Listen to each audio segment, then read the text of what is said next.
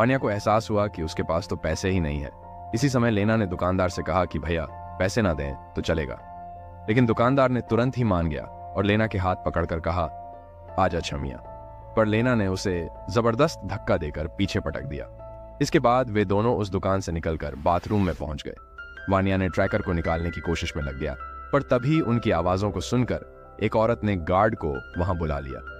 जब गार्ड ने नीचे झुककर अंदर देखा तो उसे लगा कि ये दोनों गलत काम कर रहे हैं यहाँ पर। उसने तुरंत उन दोनों को बाहर आने को कहा, पर तब तक वानिया ने लेना के अंदर से ट्रैकर निकाल दिया था।